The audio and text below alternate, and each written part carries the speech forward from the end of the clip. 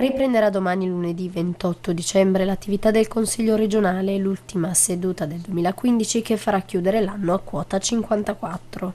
Escludendo quanto l'Aula di Palazzo Moffa approverà domani, sono 330 finora le delibere licenziate e 19 invece le leggi approvate e ricordate dal Presidente del Consiglio Vincenzo Cotugno in occasione del bilancio di fine anno. Da sottolineare l'istituzione del garante regionale dei diritti della persona che concentrerà in un'unica figura le funzioni relative alla difesa civica, al sostegno, alla tutela dei minori e delle persone sottoposte a misure restrittive della libertà personale. Da menzionare anche la legge sul riordino delle funzioni esercitate dalle province e quella recante le nuove norme per l'attuazione del diritto allo studio.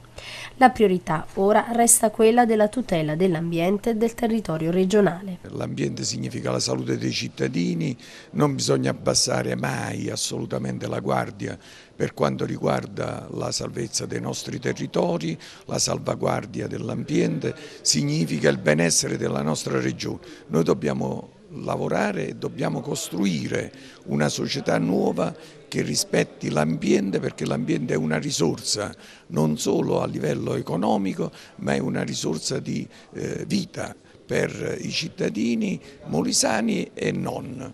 Ecco, tanti gli incontri che sono stati fatti per arrivare a una legge il più condivisa possibile, i tempi.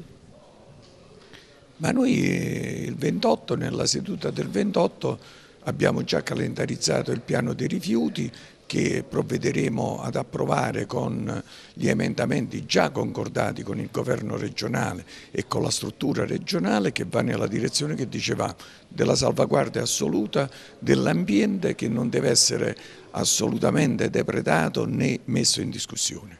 Il lavoro, la sanità e l'area di crisi invece le sfide del nuovo anno che sta per aprirsi.